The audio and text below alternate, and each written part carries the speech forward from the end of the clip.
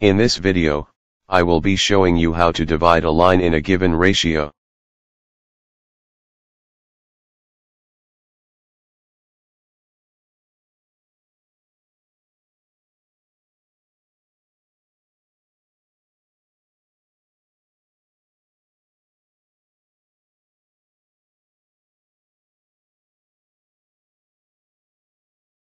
To divide a line in a given ratio, the first step you are to take is to draw the given line and label it.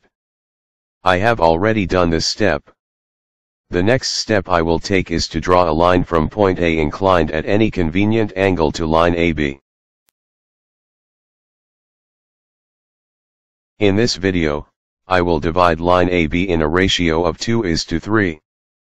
So, I will mark off 5 points of equal interval in length on the inclined line, because 2 plus 3 is equal to 5.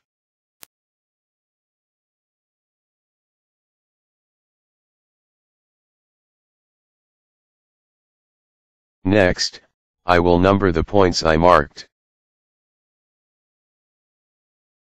The next thing I will do is to draw a line to join point B and point 5 using my ruler and set square.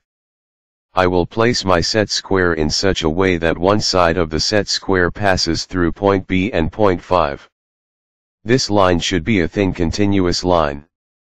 I will then slide my set square through my ruler in order to draw another line joining point 2 with line AB. This is because I am dividing line AB in a ratio of 2 is to 3. I will label the point where the line intersects line AB, and the end of the inclined line.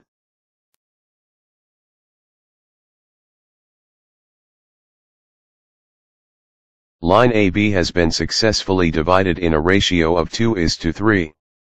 Thank you for watching this video.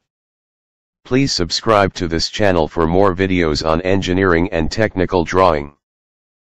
Have any question or you are having challenges with your engineering drawing or technical drawing assignments, you can message me on WhatsApp.